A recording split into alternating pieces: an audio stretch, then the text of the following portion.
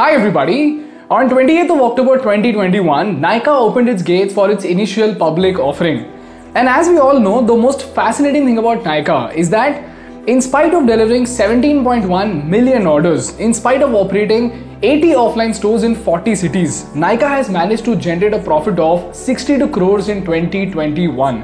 And this makes Nykaa one of the very few e-commerce companies to actually generate profit. So the question is, how did Nykaa achieve profitability in spite of operating at such a huge scale? What are the strategic advantages Nykaa has over Myntra and Amazon? And most importantly, if you are someone who's looking to invest into beauty and personal care companies in the next 5 years, what are the threats and opportunities that you need to consider before you invest into Nykaa or similar stocks? This video is brought to you by Tickertape Pro, but more on this at the end of the video. The first thing you need to understand is that there are three modes of retail distribution for beauty products in India. The first mode is the unorganized retail, which includes small general stores and drugstores. The second model is the organized retail, which includes exclusive brand outlets and beauty salons. And lastly, we have the online retail model. But the biggest issue with all these models is that, except for a few brand outlets, there are three major problems that customers have been facing in the beauty and personal care sector. Number one, although a huge segment of Indian consumers want to buy beauty products, until now, a major segment of the Indian customers have not been able to access the most reputed brands in the industry. And this lack of accessibility is mostly faced by tier 2 and tier 3 audience. This is the reason why after the Jio wave, the online BPC market has exploded from a market size of just $206 million in 2017 to $1 billion in 2021. But with the rise of online retail, the second problem came in, and that is duplicate products. Unfortunately, even in the reputed marketplaces like Amazon and Myntra, sellers often sell duplicate makeup products that have drastically affected the online purchase experience of the customers.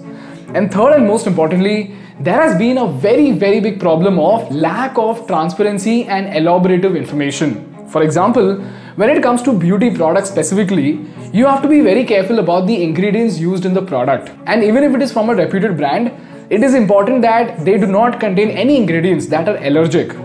But in spite of this thing being a critical problem, Amazon and Myntra both have not been able to address this issue properly. In fact, in the market research that I conducted with the Think School community, many people even told me that Amazon often sent them expired products and sometimes the expiry date is purposefully erased or is unreadable. And when this gives them skin allergies, it becomes a terrible experience for the innocent customers. Therefore, transparency and lack of information has been a major problem in the beauty and personal care sector. But this is where, ladies and gentlemen, Nykaa became a game changer. Nykaa not only increased the accessibility through its online presence, but it also understood each one of these problems of the customers. Therefore, they came out with some incredible strategies to become a dominating player in the beauty space. The question is, what are these strategies and how did Nykaa beat the likes of Amazon and Flipkart? Well, the first thing Nykaa did was to opt in for something called the inventory model of e-commerce. For those who know about it, please skip to this timestamp. But for those who don't know, here's a very, very simple explanation of the same. People, if you look at Amazon or any e-commerce company's operation in India, you will see that they operate with two models. The first model is the marketplace model and the second model is the inventory model. Marketplace model is the one where there are independent buyers and there are independent sellers. And the e-commerce company merely acts as a platform to connect them through the website or through the mobile application. Whereas in the inventory model, the company procures products in massive quantities from the sellers at an ultra cheap rate, only to sell it directly to the customers through the mobile app or through the website. To understand this, let's take a very simple example of Amazon and a bookseller. Okay? If a bookseller makes a book at 150 rupees and sells it on Amazon at 450 rupees, in this case, if Amazon acts as a platform, it will generate a revenue of 112 to 150 rupees. And this amount also includes packaging and transportation charges, which leaves them very less scope for profit. But if Amazon operates with the inventory model, then Amazon will buy 10,000 books from the bookseller at once and then it will use its bargaining power to buy it at just 200 rupees. Then it will keep these 10,000 books in its warehouse eventually to sell it at 450 rupees each on the website. So this way, Amazon can generate 250 rupees in revenue with a little bit of inventory cost. Therefore, they get 100 rupees extra in terms of revenue, even in something as small as books. So when this is done for huge products that cost 10 and 20,000 rupees, the revenue difference skyrockets by a billion dollars. Therefore, using the inventory model, the e-commerce companies generate way more profits as compared to the marketplace model. This is the reason why Nykaa opted for the inventory model, wherein Nykaa directly procures the products from Lakme at bulk and then sells it in its own website by storing it in its inventory. This way, Nykaa generates profits and at the same time, they've also been able to avoid the duplicate products problem.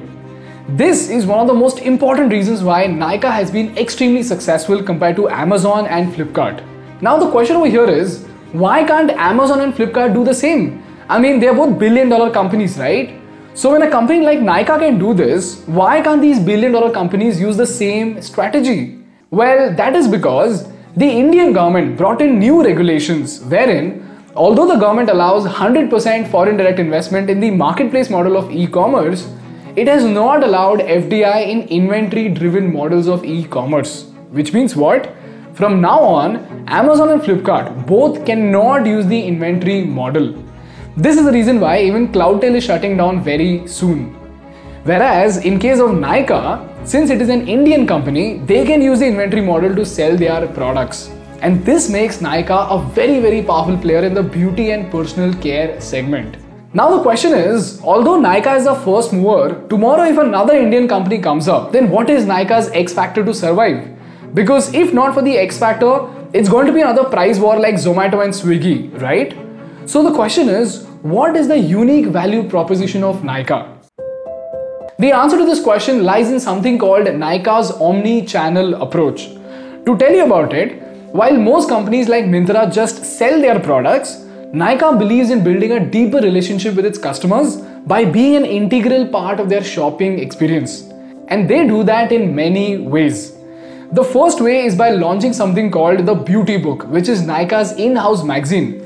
And this magazine doesn't just inform its customers but educates its customers about their products. For example, Myntra will straight away tell you that here's a bronzing powder that will cost you 2300 rupees. Whereas Nykaa's beauty magazine will first teach you how to choose a bronzing powder and then it will walk you through the best products it has. And one among those products will be a bronzing powder that you can buy at Nykaa for 2300 rupees. Similarly, if you want to choose the right tone for your foundation, Nykaa has a foundation finder that will ask you about your skin tone, the formulation and the coverage and then it will give you the best recommendation that you can find at Nykaa.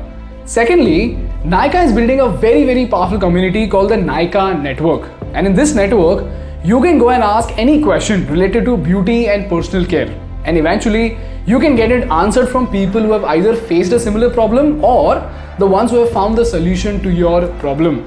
And you know what, guys? This strategy has been so successful that this platform, as of 2019, has crossed more than a million members. On top of that, they also have 40,000 weekly active users engaging with the brand community. And lastly, they have done an incredible job with content marketing. Nykaa has 1 million subscribers in their YouTube channel and they also have a team of 3055 influencers which include celebrities like Katrina Kaif, trendsetters, fashion bloggers and makeup artists who create content and publish them across several digital platforms. And each one of these content again drives sales through engagement, awareness and endorsement. And to top it all off, Nykaa also has 80 stores in about 40 cities, which also fulfills the touch and feel necessity of the customers, eventually commanding more trust for the brand. And this omni-channel approach, ladies and gentlemen, gives Nykaa three incredible superpowers over the rest of its competition. Number one, considering the fact that online beauty and personal care has only 8% penetration as of 2020, millions of customers will be buying these beauty products online for the first time. And when they do, the most critical factor is going to be the uncertainty of allergy and the lack of knowledge. Therefore, in this case, Nykaa's guiding tools and contents will serve as a critical factor in commanding the trust of the first time buyers. Secondly, this also leads to an increase in purchase value and very high customer retention. In fact, if you look at the stats, the average order value of a content consumer is 15% higher than a non-content consumer. In addition to that, for customer retention, it has also been observed that the gross merchandise value by existing customers of Nykaa has increased from 55% in FY 2019 to 70% in FY 21. And lastly, the community post and interaction gives Nykaa a very big advantage with market research. And most importantly, when they launch their own products, they can use this data to understand the scope of the new product lineups and also focus on important details like allergies and keep track of the changing consumer preferences. And this is all the more a big deal because changing consumer preferences is both the biggest threat and the greatest opportunity in the BPC sector. This is the reason why Nykaa has been super successful and has emerged as the largest e-commerce player in the beauty and personal care sector. So, considering all these factors, it almost looks like Nykaa is on its way to become the most powerful player in the BPC sector, right? So, is it so obvious that you should invest into the company? Well, not really. And this is what brings me to the most important part of the episode, and that is as investors in the beauty and personal care sector, what are the factors and threats that you need to consider before you invest into Nykaa or similar companies? Before we move on, I want to thank our partners for today's episode, and that is Tickertape Pro. If you haven't started investing yet, the best time is right now. Most people don't know about something called Muhurat trading. Muhurat is a one hour special trading session conducted by the stock exchanges every Diwali. And investing during this session is considered lucky in the Indian investor community. So, what are you waiting for, guys? This year on 4th of November, watchlist your favorite stocks on Tickertape. Take a look at all the small case links that we've put in the description and get ready for Muhurat trading. And Tickertape was also kind enough to make Tickertape Pro free for the month of November for the Think School audience. So if you want to start investing in the auspicious occasion of Diwali, download the Tickertape app from the link in the description. Moving on to the pointers, here are three very very important factors that you need to consider before you invest into Nykaa or similar companies.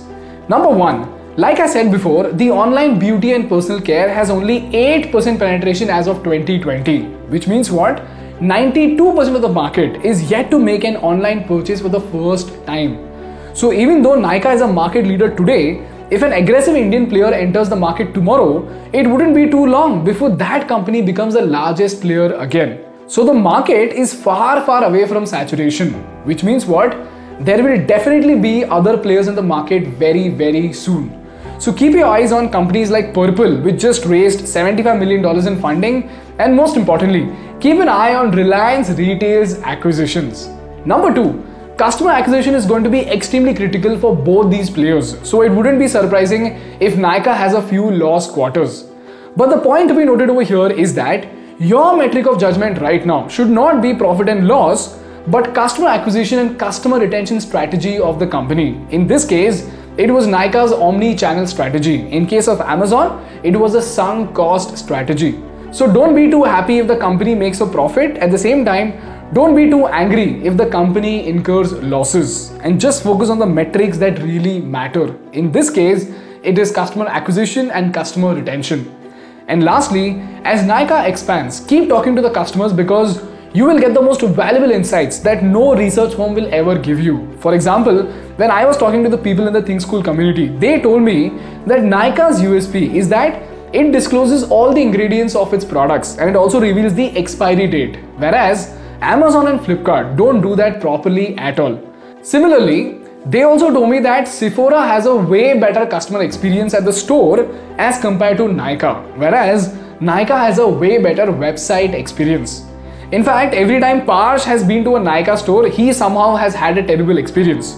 So you see, these pointers serve as an important metric that your balance sheets will never tell you. So keep your eyes and ears wide open and be inquisitive about whether Nykaa maintains its consistency of great service or not. And before we say goodbye, I am attaching a few very important research documents for you to read. They contain some of the most amazing insights that I found about the state of e-commerce in India Along with that, it also contains a document on government regulation, which also, by the way, is an important factor that you need to keep an eye on. So the moral of the story is, before you become fascinated by the company or the hype around it, take some time, investigate with the data, investigate with the people, and then invest your money optimistically but carefully. And I just hope you end up making a lot of money. That's all from my side today, guys. Wish you a very, very happy Diwali from me and my entire team. Thank you so much for supporting our channel. If you learned something valuable, please make sure to hit the like button in order to make YouTube Baba happy. And for more such insightful business and political case studies, please subscribe to our channel. Thank you so much for watching. I will see you in the next one. Bye bye.